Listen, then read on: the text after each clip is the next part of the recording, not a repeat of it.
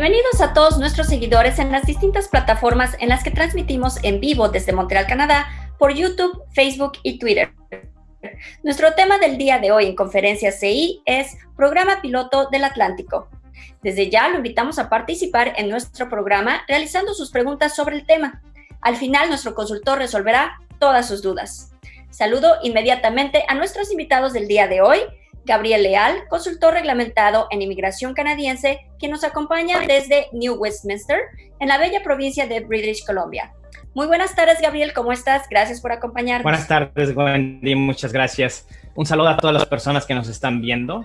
Esperamos que el de hoy, el tema de hoy sea de su interés y agrado, pero sobre todo esperamos que cuenten con nosotros para alcanzar su sueño de estar en Canadá. Así es, Gabriel, pero antes eso, saludo a nuestro otro invitado, nuestro agente internacional invitado, el señor Ricardo Sánchez. Ricardo, muy buenas tardes y bienvenido. Muchas gracias, Wendy. Buenas tardes. Y Gabriel, buenas tardes. ¿Cómo están? Estoy muy contento de estar aquí con ustedes y por supuesto con todos nuestros seguidores. Agradezco mucho la invitación a esta conferencia. Bueno, inicialmente existía la unión de solo tres eh, territorios, Nueva Escocia, Isla del Príncipe Eduardo, Nuevo Brunswick, llamado las provincias marítimas. Posteriormente se unió Terranova y Labrador y a partir de allí se llaman las provincias atlánticas. Esos territorios se ubican en la costa oriental de Canadá y su origen es una mezcla de nativos, ingleses, irlandeses y franceses. Bueno, y me imagino que te preguntan cuál es el atractivo de estos territorios.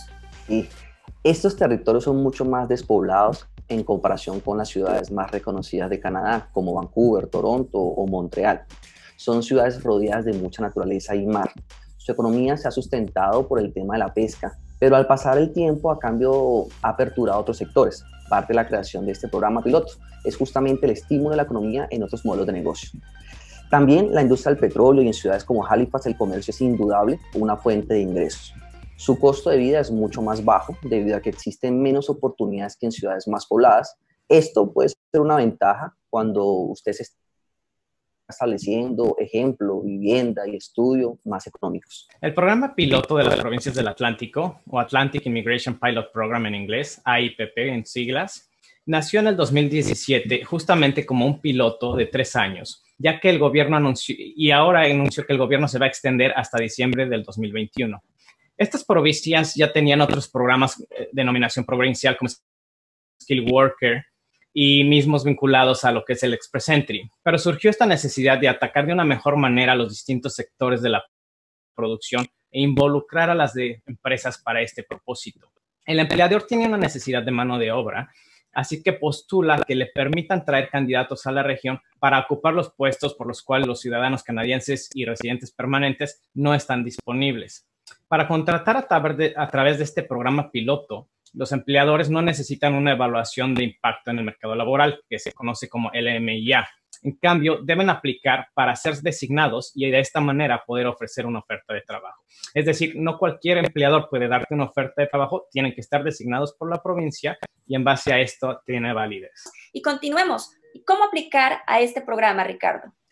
Wendy, la persona interesada puede verificar si aplica una de las tres categorías que componen este programa, cada una de ellas con requerimientos particulares. Tenemos Atlantic High Sky Skill Program, perdón, o Programa Atlántico de Trabajadores Calificados de perfil alto. Está dirigido para personas con alta formación educativa, con experiencia laboral gerencial o profesional.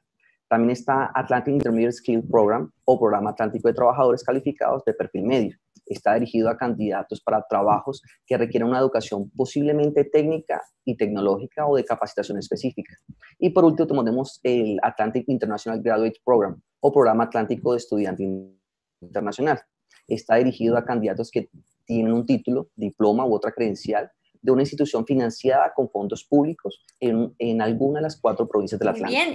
Como cualquier otro programa migratorio, el consejo es pase con un agente, haga su preevaluación, verifique con un profesional de inmigración sus opciones.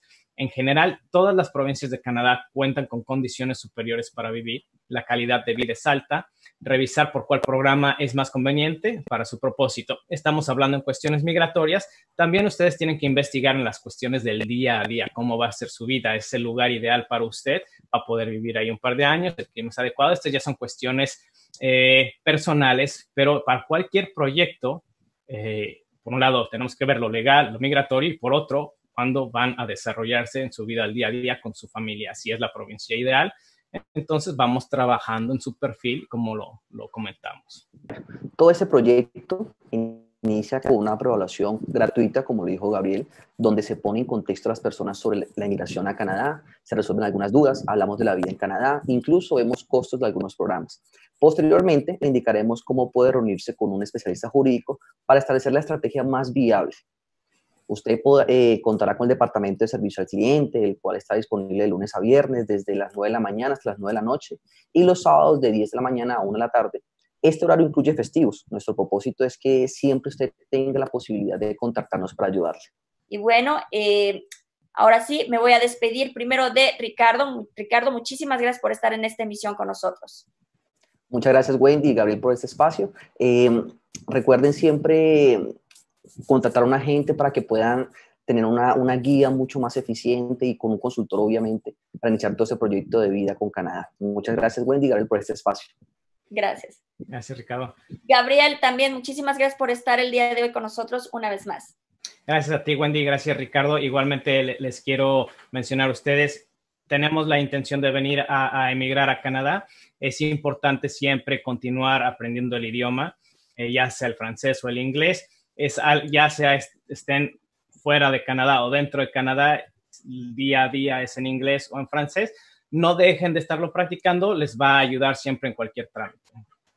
Así es, usted no deje de, prepararse y también no deje de vernos, porque aquí tenemos toda la información que usted merece para poder emigrar legalmente y sin ninguna complicación. Por eso los invito a que se suscriban a nuestro canal de YouTube para que si se perdieron algún programa, automáticamente les dará indicación si usted le pone un clic a la campanita, les notificará de todos nuestros contenidos que están nuevos ahí. Así que muchas gracias a usted por vernos y gracias por esta emisión. Nos vemos en una próxima emisión.